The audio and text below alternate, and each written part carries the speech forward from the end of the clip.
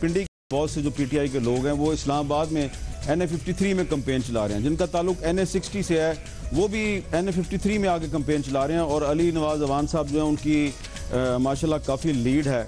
इसी तरह आप देखें अटक में जो हुआ है अटक में पीटीआई की पहले बहुत ज़्यादा लीड थी।